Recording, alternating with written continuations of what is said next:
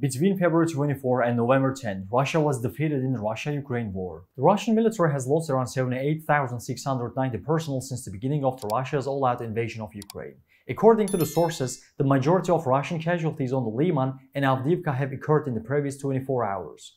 The numbers are updated on a regular basis. There are approximately 78,690 personnel, 2,804 tanks, 5,682 armored combat vehicles, 1,805 artillery systems, 393 MLRS, 205 air defense systems, 278 aircraft, 260 helicopters, 1,499 UAVs, 399 cruise missiles, 16 ships, 4,242 vehicles and tankers, and 159 special vehicles.